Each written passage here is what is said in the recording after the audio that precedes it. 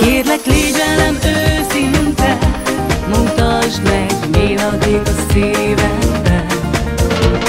Nem kell a kamu, nem lesz több tabu, vállaljuk fel, amit kell, csak őszintén.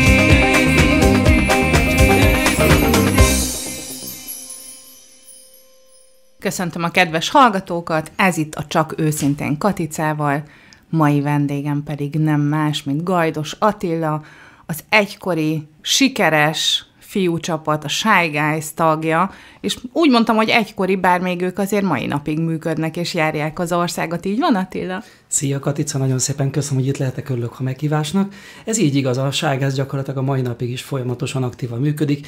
Rengeteg retro rendezvény van az országban, ahol mi nagy szeretettel megyünk, és óriási bulik vannak a mai napig is mindenhol. Tudhatjuk, hogy ugye eddig ezzel foglalkoztál, és ezen túl is foglalkoztál a zenével, csak talán már most elindultál egy más irányba. De még mielőtt erre rátérnénk, azért az okokat fejtsük ki, vagy mi is volt ennek az oka. Ha jól tudom, neked az életed egykoron elindult a spiritualitás irányába. Ez nem ma volt már, nem tudom pontosan, ezt majd te kifejted, mm. hogy mikor is kezdődött ez nálad. Mesélnél erről nekünk egy kicsit? Természetesen. Körülbelül 16 éves volt, amikor először kezembe került egy olyan könyv, aminek az volt a címe, hogy Előző életek, jövendő életek, Bruce Goldberg írása volt. Ez, ez a könyv engem nagyon-nagyon megfogott, mert a lelkem húrját megpengettem, mondjuk így. És azt éreztem, hogy ebben van valami, ami talán több, mint ez a látható világ, ezért elkezdtem ezzel a témával komolyabban foglalkozni, rengeteg könyvet olvastam el. Az én spirituális utam eleinte csak érdeklődés szintű volt, tehát könyveket olvastam, bizonyos ilyen fórumokat nézegettem meg, ahol ezután lehetett érdeklődni, de aztán komolyabbá vált az életem, és ö, találkoztam olyan emberekkel, akiknek a tanfolyamán elkezdtem részt venni, és elkezdtem életmódszerűen foglalkozni a spiritualitással, itt már akkor a napi meditációk megjelentek, légzőgyakorlatok, ö, olyan, olyan technikákat kezdtem el elsajátítani, amikkel ténylegesen saját és a környezetem életminőségét tudtam javítani, és azt gondolom életem legjobb döntése volt, mert olyan, olyan minőségbe kezdett az életem változni, ami, ami szerintem talán a spiritualitás nélkül nem is tudott volna megtörténni. És akkor most ugye így aktuális a kérdésem, hogy ez kihatással volt a zenei életedre is. Természetesen, hiszen hogy ha a lélekre kihatás van, akkor az a művészetre is. És ugye a művészet a lélekből fakad, hiszen annak a megnyilvánulása így értelemszerűen nagyon nagy hatással volt rá. Én azt gondolom, hogy szerintem egy, egy alkotó művésznek a, a legfontosabb része az, hogy egyfajta médiumként tud dolgozni. Tehát mit értünk ez alatt? Egy, egy ilyen csatornaként, és hogyha ezt a fajta fénycsatornát az ember be tudja engedni, és meg tudja élni, akkor olyan távlatokat tud megmozgatni, van energiákat tud lehozni, ami azt gondolom, hogy szerintem a közönség szempontjából is nagyon érezhető és, és él, élvezhető, és egy olyan, olyan irányba viszi el a, a dolgokat, ami, ami, ami, ami talán enélkül meg sem lehetne közelíteni. 16 éves voltál, amikor először találkoztál ezzel a témával, és ahogy mondtad, csak érdeklődés szinten. Ez gondolom pár évig így is maradt. Mikor volt az a pont, amikor azt mondtad, hogy jó, akkor innentől kezdve szeretnék ezzel komolyabban, akár hivatásszerűen foglalkozni? Igen. Az a rész, amikor akár hivatásszerűen foglalkoztam, az az utóbbi tíz éve van. Találkoztam a Prána Nadival, és találkoztam egy egyéb olyan ö, technikákkal, amivel tényleges eszköz kaptam a kezembe, hogy tudok segíteni, és nagyon érdekes, hogy az élet az első tanfolyamtól kezdve folyamatosan hozta a gyakorlási lehetőséget. Tehát mindig megjelentek valakik az ismerősöm között, hogy gyere Atti, segítsél, fáj a hátam, fáj a térdem, hallottam, hogy voltál valahol, tudsz talán segíteni, és nagyon-nagyon szép eredményekkel gyakorlatilag mindig működött valamilyen szinten. Valakinél jobban, valakinél kevésbé, nagyon sok függ attól is, hogy ki mennyire befogadó. Hiszen ugye itt energiákról van szó, és itt olyan energiák vannak, amit hogyha a, a hit és a nyitottság ö, ö, lehetővé tesz, akkor még sokkal ö, hatékonyabban működik ez a módszer. Ezért ö, én ö, az életem nagy részét rátettem erre a dologra, hogy tett nekem a zene mellett a spirituális ö, technikákkal való én ezt úgy szoktam mondani, hogy nem gyógyítás, hanem harmónia hangolás, vagy harmónia harmonizálás, hiszen tulajdonképpen az energiatestbe levő blokkokat tisztítjuk ilyenkor, és ez nagyon-nagyon-nagyon-nagyon hatással van a lélekre, és természetesen így a fizikai testre, tehát nagyon komoly betegségekből lehet így egyébként kigyógyulni. Nyilván nem egy alkalomról beszélünk, hanem sorozatokról beszélünk, de egy, de egy konkrét ö, eszköztár ahhoz, hogy, hogy, hogy, hogy, hogy, hogy valóban el tudjon az ember indulni egy nagyon komoly fejlődési úton. De azért ehhez kell hit is, azért azt, azt tegyük hozzá, hogy ez csak annak az embernek tud segíteni, aki hisz. Hiszen egy szkeptikus emberrel nem igazán lehet mit kezdeni. Sajnos ez igaz. Nem, van egy híres mondás, ami úgy hangzik, hogy minden betegség gyógyítható, de nem minden beteg gyógyítható. És én ezzel maximálisan egyetértek, mert a tapasztalatom ugyanezt mondja, hogy, hogy tényleg voltak olyan esetek, amikor jött valaki hozzám, Azért jött csak el hozzám, mert valaki közelismerőse mondta, hogy ez neki segíteni fog, de ő nem hit benne. És hiába jött el hozzá, tök jól beszélgettünk, valamit picit nyilván a, a, a fényem, amit tudtam neki adni, az emelt rajta, de a lényegi áttörés nem tud megtörténni, mert ő maga még nem volt kész ennek a befogadására. Úgyhogy van ilyen sajnos. De szerencsére általában a rezonancia törvénye mindig úgy alakítja dolgokat, hogy azok az emberek jutnak el hozzám, vagy a hasonló ő emberekhez, akik, akik már megértek erre a dologra, hogy be tudják fogadni, és akkor nagyon szépen lehet haladni. Hát azt hiszem, hogy nagyon érdekes dolgok kerültek eddig itt most napvilágra. Innen fogjuk folytatni, de előtte most elmegyünk zenélni. Attila, tőled milyen dalt fogunk most hallani először? Én egy saját szerzeményt hoztam, volt egy szimmetrik formáció, akikkel, akivel én nagyon szerettem együtt dolgozni, Nyics, Nyics Viktor barátom volt, és ennek a dalnak az a címe, hogy Régen volt. Akkor Gajdos Attilától a Régen volt című dalt fogjátok hallani, tőlem pedig a Csak érted dobban a szívem című dalt. Ne menjetek sehová, mert jövünk vissza.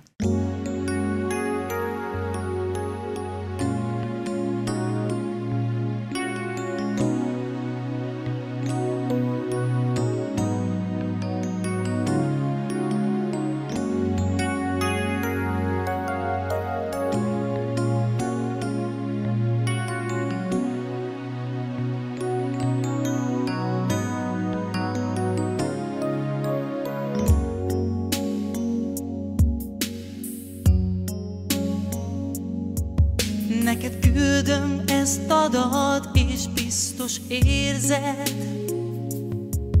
hogy a karjaidban felébredni, mit jelent nekem. Veled úgy érzem, hogy fontos lesz az élet, és az az édes első pillanat, amit nem felejtek el. Olyan régen volt bizony már, de azért emlékszel még rá. Szemeidre két szemem hogyan talál, hogyan talál? Olyan régen volt bizony már De soha, soha se túl rég. Gyere hát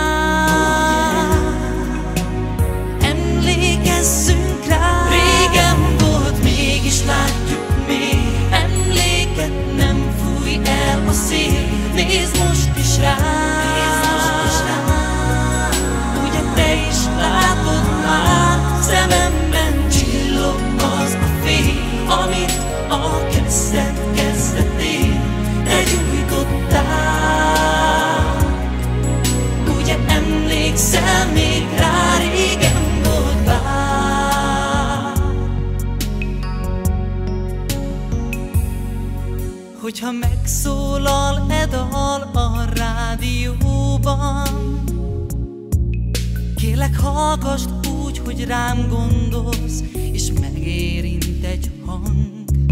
Most az egész világ színe előtt vallom Hogy az első perctől köszönöm Hogy a szívedben lakhatom. Olyan régen volt bizony már, de azért emlékszel még rá. Szemeidre két szemem hogyan talál Olyan régen volt bizony már, de soha, soha se túl rég. Gyere hát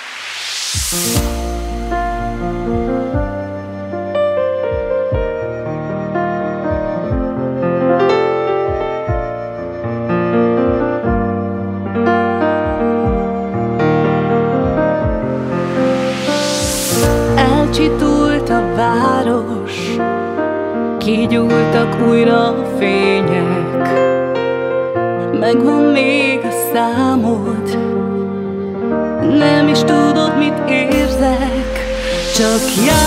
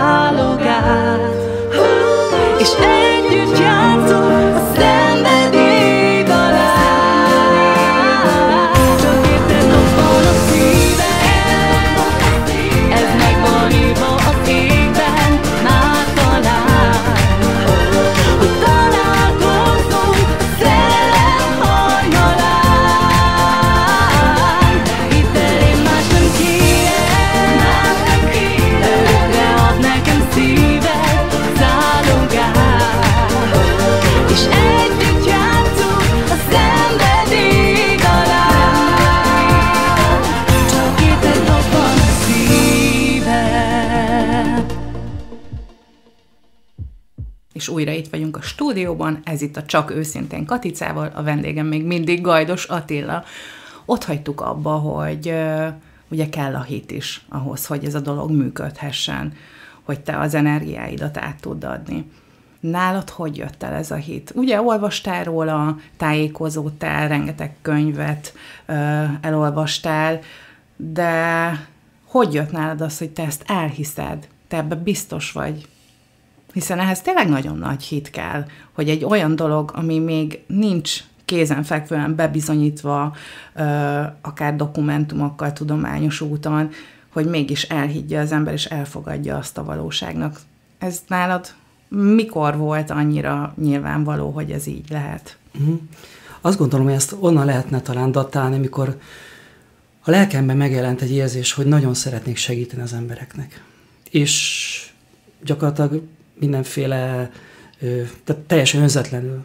Mert az motivál engem, hogy, hogy látom, hogy mennyi, mennyi helyen van szükség a segítségre, és amikor a lelked jelzi ezt a hangot, hogy, hogy, hogy segíts, mert, mert vannak emberek, akik tényleg elakadtak az életükbe, ez lehet akár a betegség, lehet egy lelki állapot, bármi, és tudom, hogy nekem van a kezemben egy eszköz, amivel ténylegesen tudok segíteni, akkor ez nekem egy olyan hívó szó, hogy onnantól kezdve nekem nem volt kérdés. Tehát ez talán a hiten túl van, vagy az egy, ez adja meg a hitet. Ö, mint ahogy mondtam is, rengeteg helyzetet hozott az élet, ahol tudtam ezt gyakorolni, és ugye a hit úgy erősödik meg, amikor tapasztalsz, amikor Igen. látod, hogy eredménye van annak, amit csinálsz.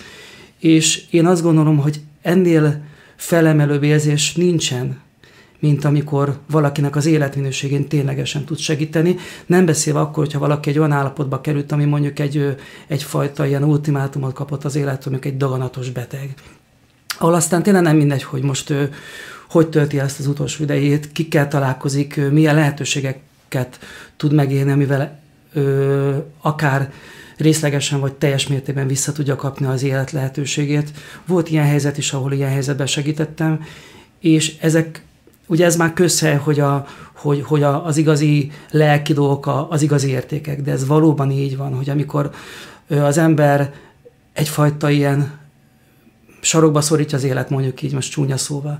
De akkor rájön, hogy igazából mindig azok az értékes dolgok, amik a lelki dolgok, amik, amik, amik fölemelik. És minden egyes fizikai, tárgybeli dolog az csak egy ilyen eszköz ahhoz, hogy ezt a lelki állapotot ő meg tudja élni. És amikor ezt az ember megél, akkor rájön, hogy tulajdonképpen mindene megvan ahhoz, hogy boldog lehessen, akkor is, ha nincs semmilyen fizikai sikon, mert a lelki állapot a lényeg. És lehet palótája minden, amikor beteg, és nem látja ki utat, és össze van omolva az élete, depressziós, akkor meg teljes mértékben szegénynek érzi magát. Így van, hiszen ugye arról is szoktunk beszélni, hogy amikor eljön az idő, és el kell mennünk innen, akkor nem tudunk semmit elvinni magunkkal, ami ehhez a földi élethez kapcsolódik, hanem csak azt tudjuk elvinni, amit megéltünk, Igen. akik lettünk, és Igen. az emlékeink, a, a tapasztalásaink, és hogyha nem úgy éltük az életünket, akkor igazán szegénynek érezhetjük magunkat, ahogy te is mondtad. Pontosan. És nálad voltak esetleg olyan személyes tapasztalások, hogy akár, mert mondtad, hogy hívó szó. Ez igen, nagyon megütötte igen, a fülem. Igen, a lelkemből jött ez a hívó szó. Akár víziók, vagy bármik kerültek eléd? Mert ilyenről is hallottam már, hogy esetleg hmm. megjelentek dolgok, vagy hangot hallott, hogy, hogy igenis neked ez az utad, ezt kell csinálnod, mert én, én, én hiszem azt, hogy aki erre nyitott, és, és van ehhez bármiféle hogy is mondjam, tehetség, vagy, vagy minek vagy affinitás. vagy affinitás, igen. azoknak igenis ez, ez, ez szokott igen. jönni, akár igen. a hang, akár a vízió, és, és látnak a lelki szemeikkel. Neked volt ilyen tapasztalásod? Tulajdonképpen volt, mert a lelkem hívó szava az pont erről szólt. Tehát ez volt az a pont, amikor azt éreztem, hogy én ezt, ez nekem teljes mértékben az én utam, hogy a, hogy a Jóisten ezt, ezt az utat választotta ki a számomra, és mindig minden lehetőséget megkaptam, hogy ezt én ténylegesen gyakoroljam. Ö, képek formájában nem igazán, inkább, inkább érzés, tehát én inkább ilyen érző vonalon mozgok. Egyszerűen azt gondolom, hogy ha az ember a szívközpontja a tengelyében tud lenni, vagy ott tud maradni, akkor pontosan mindig tudja, mikor mit kell cselekedjen, mert ez a lényeg, hogy, hogy bármit döntesz, ha az a szívedből fakad, akkor az nem tud rossz döntés lenni. Mert akkor az csak fölemelheti a környezetemet, és így általam, így ezáltal engem is, és én ebbe hiszek, tehát nekem ez a hitem, a szeretet vallása, úgy veszük. Szokták kérdezni, hogy van-e vallás, hogy miben hiszel. Én mindig ezt szoktam, hogy én a szeretet vallását gyakorlom, amit tulajdonképpen vallástól teljesen független, mert nincsen bekategorizálva, nincsen dogmatizálva, nincsenek keretek közé szorítva, hanem, hanem, hanem bármit megtehetsz, ha az a szereteten belül van, és mi a, mi a, mitől számít ö, irányba a dolog, hogy hogy mi számít. Tehát az, amit megtennél, nem szeret, ne tegyél olyat, amit nem szeretnéd, hogy mások megtegyenek veled. Ez az irány Így az van. én olvasatomban. Így van. És, és azon belül bármit lehet csinálni. Én is úgy gondolom, hogy ez teljesen vallástól független, hiszen, hiszen kidönti azt el, hogy én hogy szeressem a jó Istent, hogy melyik a helyes út, az, hogy ö, bármelyik ö, felekezet csinálja, melyik, melyik a helyes. Szerintem az a helyes, ha csak maga a szeretet útján haladsz előre. Van. Úgyhogy abszolút egyformán gondolkodunk ebben. Mint spirituális ember, gondolom, te nem félsz a haláltól. Nem. Hiszen te is azt vallod, Igen. hogy ott még nincs véges, sőt, Igen, sőt, akkor térsz haza. Pontosan erről van szó. Így van, így én is van, így gondolom. Így van. Én is, szellemi hazánkba térünk haza. Így van, és gondolom ezáltal egy sokkal teljesebben tudod megélni az életedet. Persze, hiszen ugye ö, teljesen másfajta nézőpontból látjuk a dolgokat, tehát ö, ö, nem ragaszkodik az ember bizonyos dolgokhoz, hiszen tudja, hogy ami igazán lényeges, az már megvan, és az itt van a lelkünkben. És ez egy nagyon fontos mérföldkő. Amikor az ember erre rájön, felismeri, akkor egészen máshogy áll a világhoz. És micsoda felszabadító érzés úgy élni az életedet, hogy nem rettegsz. Hogyne. Attól, hogy Úristen eljön az utolsó nap sőt, inkább várod. Igen. Innen fogjuk folytatni, mert úgy gondolom, hogy még ezt is tovább tudjuk vesézni, de előtte elmegyünk zenélni. Attila, mi lesz a második dal? Szintén egy címet dal következik, melynek címe Áttombolt éjszakák. Egyik kedvenc dalom. És nekem is, mert már hallottam tőled. Tőlem pedig az Őrült nyár című dal következik, mert hiszen tombol odakint a nyár, nem sokára jövünk vissza, nem menjetek sehová. Régen elmúlt, mégis veled él, most is fáj még a kép. Emlékek lépnek át a falakon, szívedből eltűnt a fény, bármere hajt, innen az út, millió vágyat a mélybe lehúz, to eat.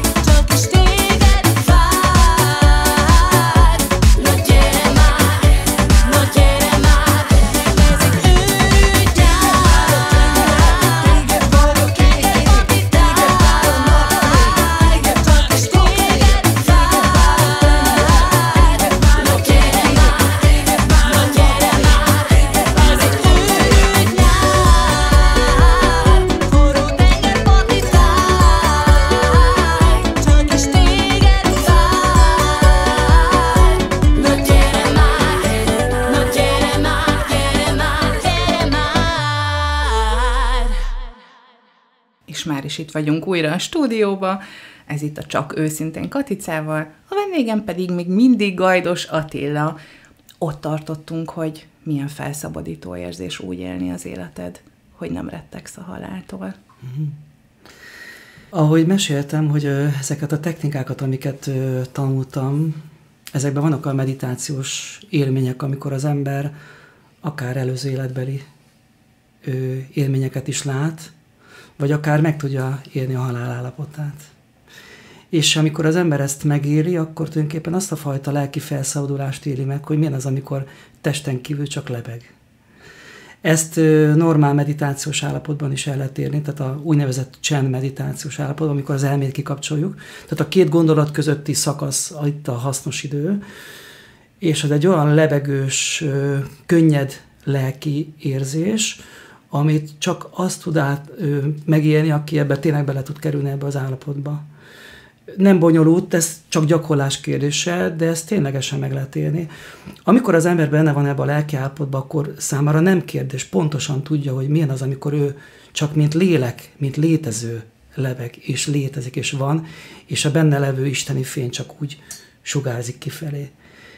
Ezek ilyen ö, szavakkal kif- nehezen kifejezhető dolgok, de ha az ember ebbe az állapotban benne tud maradni, és ezt tudja a hétköznapi életben is vinni magával, na akkor tud ténylegesen olyan állapotba kerülni, hogy szinte átlebeg minden nehézség fölött. És azt, azt hiszem a mai világban erre igen nagy szükség van. Azt gondolom, hogy az emberek többsége kifelé keresi a boldogságot. Nem fogja megtalálni, mert egy örökös függőségi viszonyban lesz, és csak szenvedni fog. Ezen az úton én is keresztül mentem, míg rá nem jöttem arra, hogy a boldogság és a fény belül található, hiszen isteni kapcsolat csak belülről ő, tud ő, létrejönni, és belülről tud a forrás megjelenni.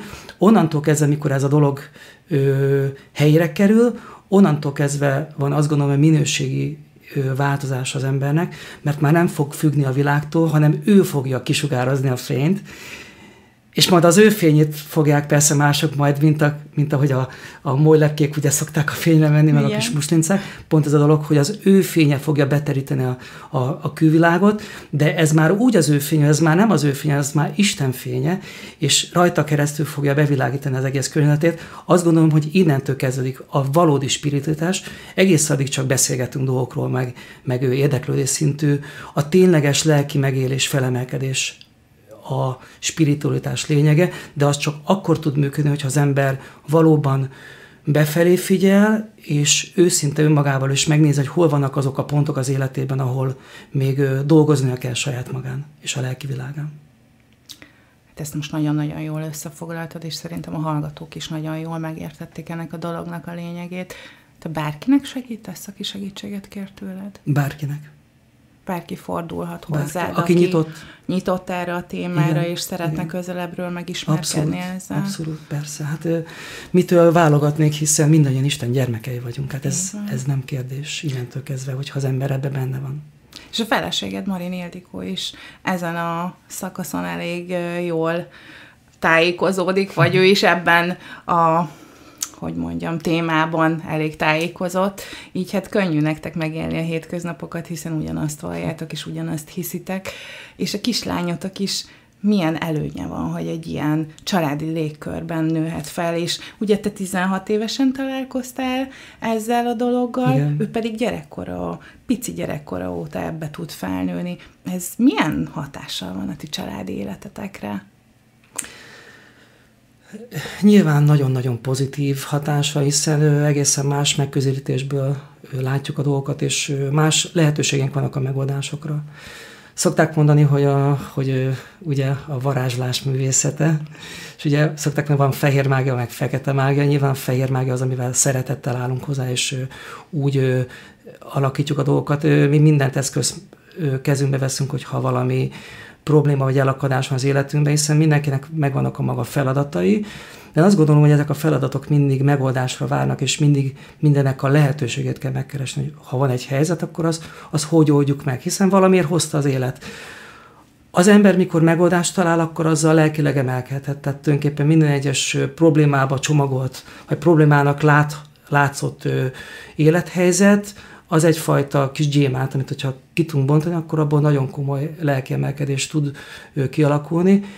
És a mi életünk abszolút úgy működik, hogyha van egy helyzet, akkor mi minden eszközt igénybe veszünk, hogy azt, hogy azt föl tudjuk, meg tudjuk oldani. Például, hogyha van valamilyen fizikai dolog, akkor ott a energiatechnikák, amikkel gyönyörűen ki lehet kezelni, hogy rögtön mehessünk a hétköznapokba tovább. Vagy hogyha lelki alakadás van, vagy valamit nem tudunk, hogy miért jött az életünkbe, akkor ott a tarókártya feleségemnél tökéletesen meg tudja nézni az a helyzet, miért jött az életünkbe, mit kell tenni annak érdekében, hogy az rendeződjön.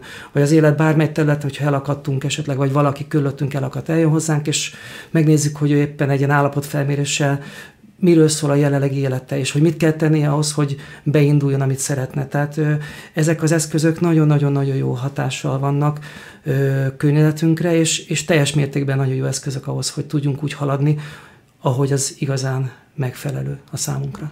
Próbáljátok ezt a gyermeketeknek is átadni? Hogy használja ezeket a dolgokat az életébe, hogy ezáltal könnyebb legyen Igen, élete? hogyha, hogy olyan, nyilván ő még nagyon picike, 8 és fél éves decemberben lesz 9, amikor ő, tehát őt még ezbe a dologban mi nem lehet belevonni ilyen szinten, viszont bármilyen elakadás van vele kapcsolatban, utána tudunk nézni, és meg tudjuk nézni, hogy mi volt az a dolog, ahol esetleg félesiklott valami, és azt gondolom, ez egy nagyon nagy előny.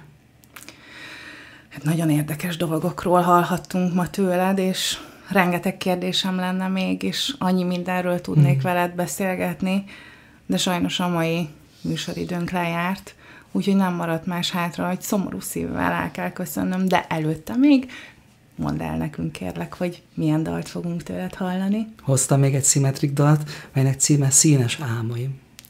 Nagyon szépen köszönöm Attila, hogy itt voltál, köszönöm a sok-sok információt, amiből nagyon sok mindent megtudhattunk, és köszönöm a szép dalokat, amiket hoztál. Tőlem pedig ma utoljára az Anya mindig itt lesz veled című dalt fogjátok hallani. Köszönöm szépen, hogy itt voltatok velünk. Jövő héten is tartsatok velünk, hiszen újra csak őszintén Katicával. A viszonthallásra. Nagyon köszönöm a meghívást.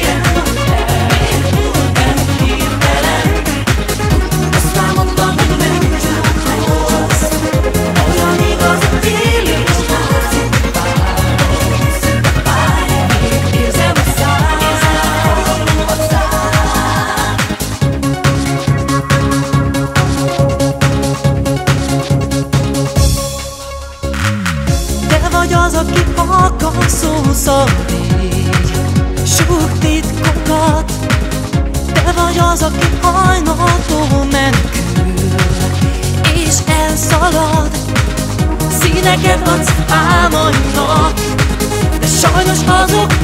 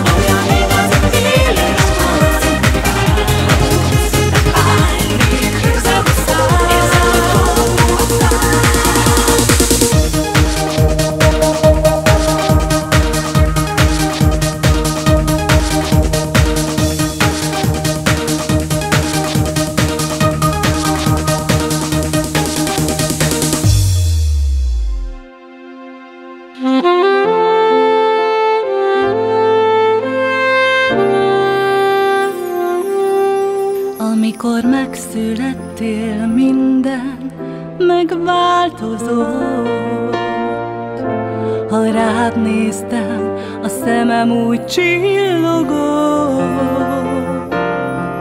Soha nem éreztem ilyen boldogságot. Te elhoztál nekem egy új